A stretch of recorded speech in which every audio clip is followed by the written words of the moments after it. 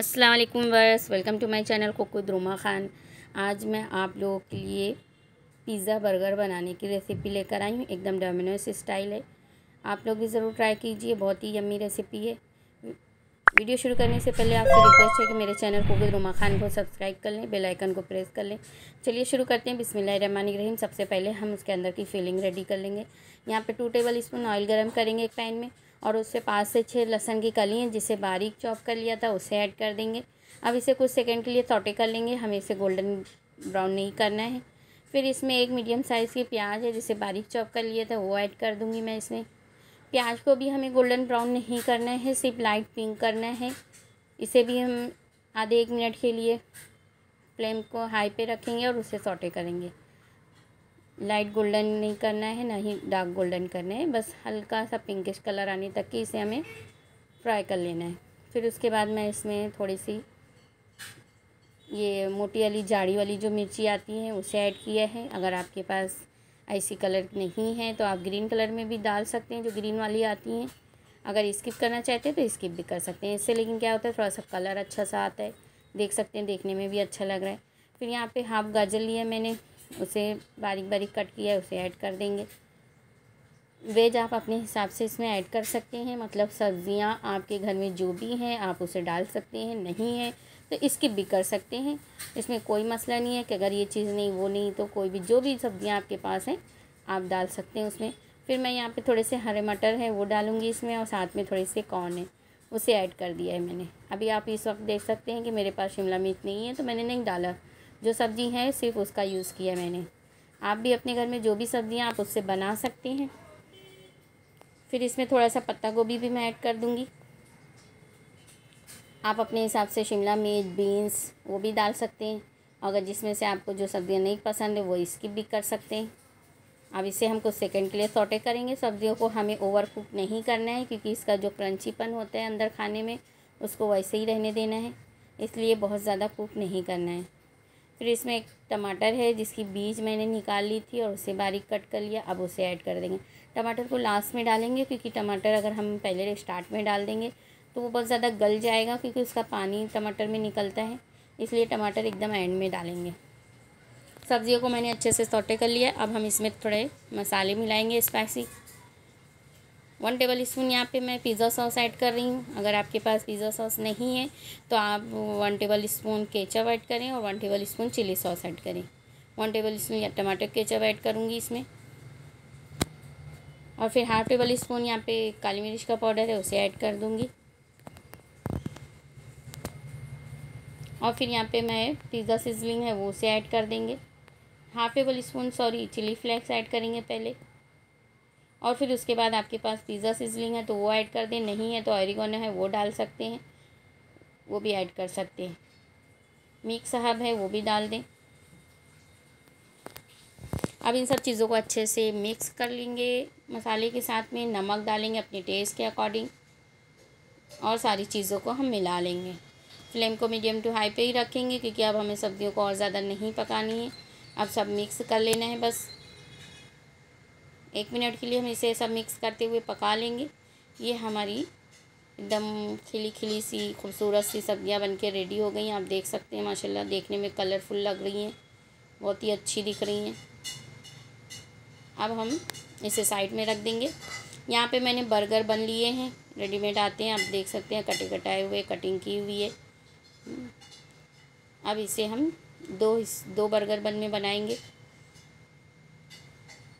आप अगर नहीं कटे हैं तो उसकी कटिंग कर लेंगे बीच से। मैं यहाँ पे एक में चीज़ स्प्रेड लगाऊँगी। अगर आपके पास नहीं है तो आप माइनस का यूज़ कर सकते हैं। मैं एक में चीज़ स्प्रेड लगा के आपको बताऊँगी और एक में मायोनीस का। दोनों को अलग अलग बनाऊँगी। आपके घर में जो भी चीज़ है आप उसे लगा सकते हैं। मायोनीज़ है तो मायोनीज़ का यूज़ कर सकते हैं, नहीं है तो चीज़ स्प्रेड लगा देंगे। अगर वो भी नहीं है तो आप एक में केचप लगा दें, एक में टमाटर, पिज़्ज़ा सॉस लगा सकते हैं। ये मैंने दोनों ही बन में चीज़ स्प्रेड लगा लिए मतलब दोनों दोनों तरफ़ फिर एक में मैं क्या करूँगी, मायोनीज़ लगाऊँगी। हमें दोनों ही पार्ट में लगाना है, ऊपर नीचे दोनों में लगाना है। अब इसमें मैं मायोनीस डाल दूँगी। दोनों ही पार्ट में मैं डालूँगी। ऊपर नीचे दोनों बन में लगाना है। इसे अच्छे से इसे भी फैला देंगे।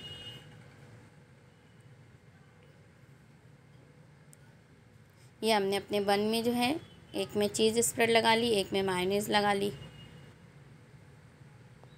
दोनों को रेडी कर लिया है। ये दोनों रेडी हो गए हैं। अब उसके बाद हम क्या करेंगे? हम जो फिलिंग बना के रेडी करी थी सब्जियों की, वो ऐड कर दूँगी इसके अंदर।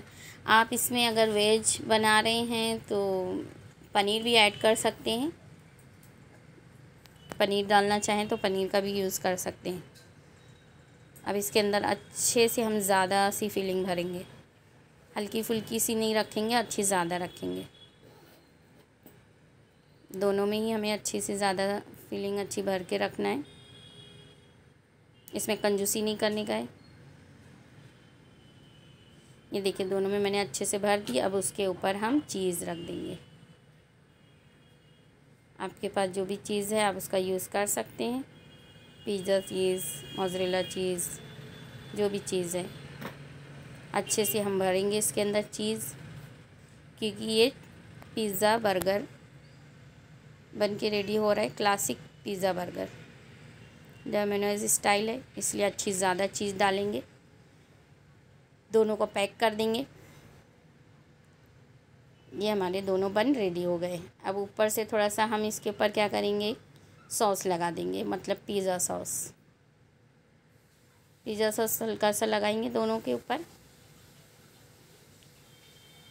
इस तरीके से फैला देंगे। उसके बाद हम यहाँ पे भी थोड़ी सी चीज़ रखेंगे। आप यहाँ पे अगर थोड़ी सी सब्ज़ियाँ रखना चाहें तो थोड़ी सी सब्ज़ियाँ रखें, फिर उसके ऊपर चीज़ रखेंगे। फिर मैं इसके ऊपर चीज़ रख दूँगी थोड़ी, अच्छी ज़्यादा ही रखेंगे। और अगर आप ये चीज़ नहीं रखना चाहते, आपके पास चीज़ स्लाइस है, जो स्लाइस में आती है तो एक एक स्लाइस ऊपर से रख देंगे, वो भी चल जाएगा।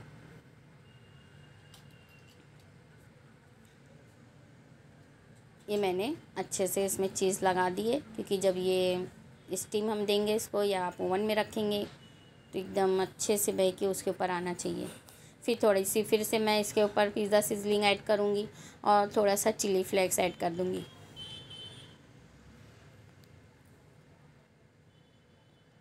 ये हमारे दोनों रेडी हो गए हैं। आप इसे ओवन में भी रख सकते हैं और पैन में भी बना सकते हैं। मैं यहाँ पे पैन पे बना के आपको दिखाऊँगी। एक फ्राई पैन ले लेंगे और उसके ऊपर बटर ऐड कर देंगे। बटर को अच्छे से फैला देंगे। फ्लेम को मैं अभी मैंने मीडियम पे रखा है। बटर को अच्छे से फैलाएँगे। आप यहाँ पे बटर की जगह ऑयल का भी यूज़ कर सकते हैं, लेकिन अगर बटर में बनाएँगे तो ज़्यादा अच्छा बनेगा। ये सब चीज़ें बटर में ही ज़्यादा अच्छी बनती टेस्टी होती हैं। फिर हम अपने दोनों बन को इसमें रख देंगे। क्योंकि मेरा फ्राई पैन बड़ा है, इसमें दोनों एडजस्ट हो जाएँगे। और अगर आपके फ्राई पैन में छोटा है तो आप सिंगल सिंगल ही रखें, फिर दोनों को मत रखें। अब इसके ऊपर हमें ऐसा ढक्कन ढाकना है जो कि इस पर टच ना हो। फ्राई पैन का ढक्कन ढाकेंगे तो इसके ऊपर टच हो जाएगा। इसलिए आप इसमें एक पतीली टाइप या कुछ तसले टाइप कटोरा बड़ा हो उससे आप ढाकेंगे तो उससे टच नहीं होगा। और थोड़ा सा पानी मैंने हाथ से छिड़का है, बहुत ज़्यादा नहीं हल्का हल्का इससे क्या होगा, स्टीम अच्छी बनेगी। और ये बहुत जल्दी हो जाएगा। अब इसे मैं ढक दूँगी एक गहरे कटोरे से। फ्लेम को लो पे कर देंगे और इसे मैं छोड़ दूँगी सात से आठ मिनट के लिए। सात से आठ मिनट के बाद हम चेक करेंगे। ये देख सकते हैं आप। वाह क्या इसकी चीज़ मेल्ट होके आई है, आप देख सकते हैं। यम्मी सा लग रहा है। देखते ही आपका भी दिल हो रहा है खाने का। तो आप लोग भी ज़रूर बनाएँ इसे और ट्राई करें। और ट्राई करने के बाद कमेंट ज़रूर करें। वीडियो को लाइक शेयर करना बिल्कुल ना भूलें। चैनल को सब्सक्राइब कर लें। बेल आइकन को प्रेस कर लें। घंटी का जो बटन है उसे प्रेस कर लें।